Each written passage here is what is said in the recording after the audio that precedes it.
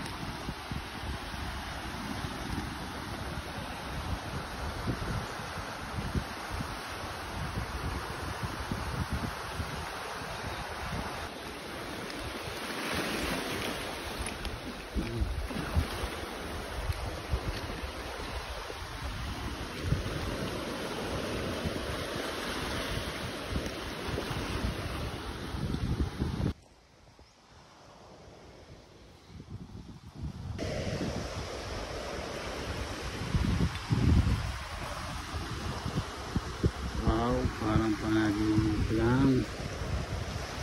Okay. Hi guys. Dito kami sa San Pablo Island ng Inanangan Sardin Leyte.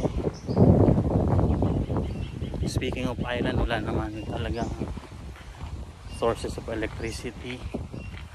Pero itong island na funded by government nagpagawa sila ng sarili nilang parang, parang planta which is ito.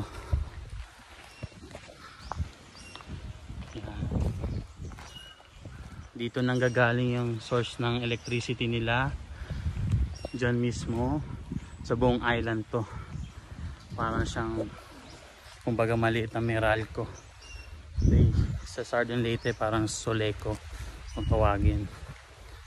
San Pablo Island ng Inanangan yan yung generator nila. Yan. Yan meron dito converted.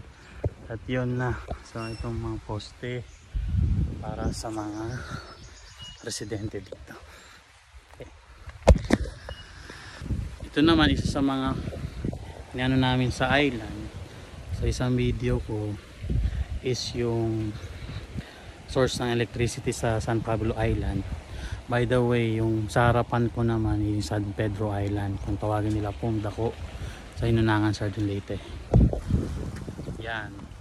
Kita niya dito papakita ko sa video na to parang hindi na tapos na construction. Which is ito. Ito yan. Akitin natin ito siya. Inakyat siya ng sister ko noon.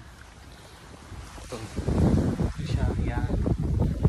Ko alam kung ano kung sa makanood man ang video na to sa makarating comment nyo na lang ano tong bahay ba to. Ito siya. Tapos yan ganda. Ito view. Oh.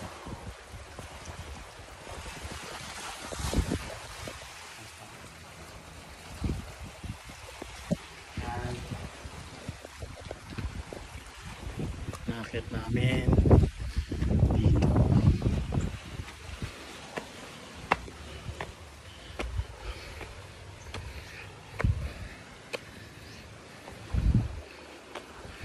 siya yan